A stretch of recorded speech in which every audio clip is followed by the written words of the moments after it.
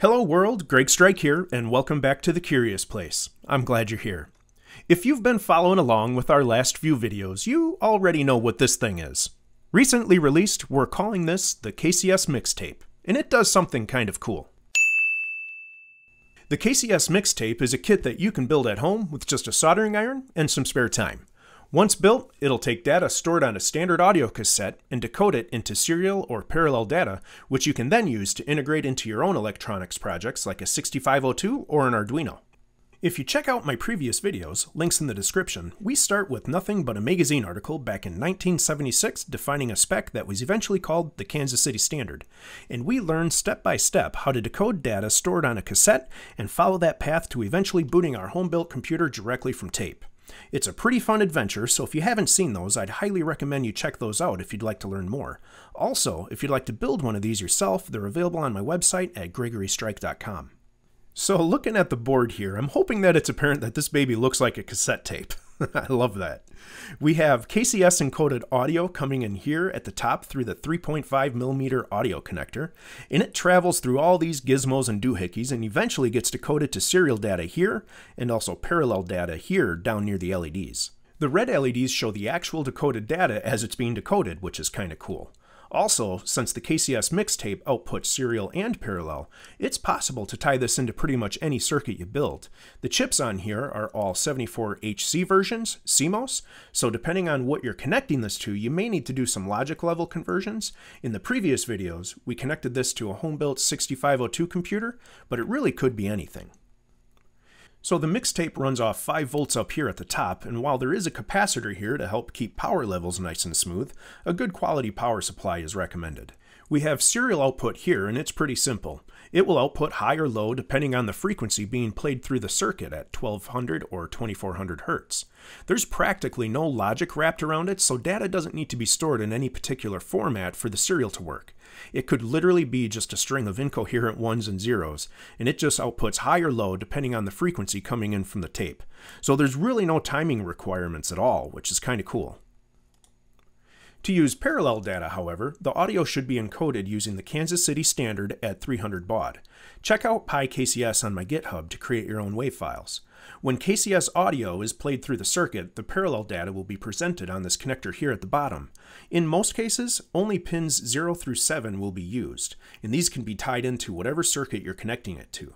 The S pin is really just one of the stop bits and it's generally not used.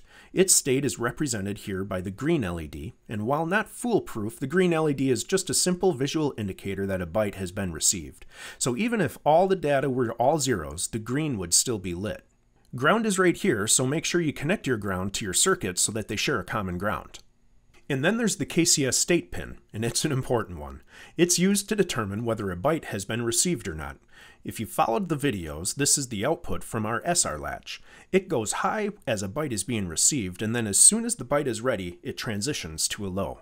This transition from a high to low, or a falling edge, can be used to tell whatever circuit you're connecting to that a byte is ready to be read. If you've been following along in the videos in the 6502 world, this is what gets connected up to the 6522 VIA number 2 on pin 18, and it's what tells the 6522 to generate an interrupt. Once you have it all assembled, the clock needs to be tuned before parallel data will work. Don't worry, it's simple enough, and all you really need is a small screwdriver. Tuning is done here at the trim resistor, making small gradual adjustments. Be careful though, some of you may experience an extreme nostalgic feeling reminding you of having to manually rewind your cassettes with screwdrivers. The simplest way to tune the circuit is to loop a hexadecimal 55 through it over and over. Hex 55 is perfect for this because when it's properly tuned, the LEDs on the mixtape will alternate on, off, on, off like this and you can find a Hex55 WAV file on my GitHub, or you can generate one with PyKCS, or the easiest way is just to jump over to my YouTube channel where you can find a four hour video of Hex55 looping over and over. But don't worry, I, I don't expect it'll take you four hours to tune your circuit. It's easy enough to do visually, just by looking at the LEDs and adjusting it until you see the proper on-off pattern like this.